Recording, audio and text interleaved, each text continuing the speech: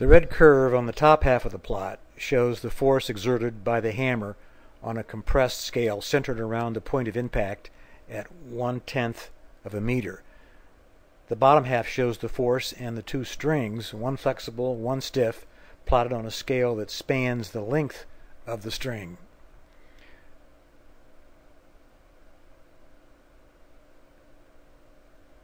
Now we'll change scales now, now that the hammer has subsided and you see the flexible string in blue and the stiff string in green. Note that the stiff string is beginning to lead the flexible string and also it has a different shape.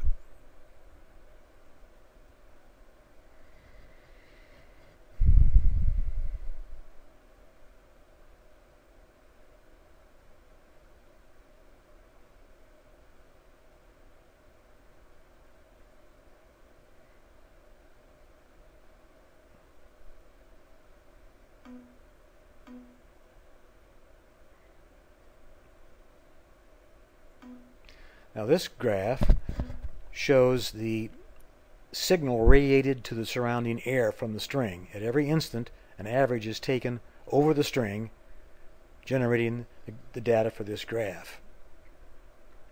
Note how the flexible string in blue maintains its shape over the 35 milliseconds of simulation. The green curve showing the stiff string indicates that it is still changing shape as of 35 milliseconds of sampling time. Now we'll take a look at the spectra of these two strings.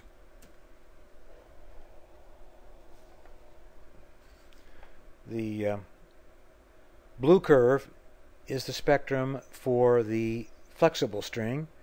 The green curve is the spectrum for the stiff string and the red lines show the locations of the theoretical harmonics of the 200 Hertz fundamental.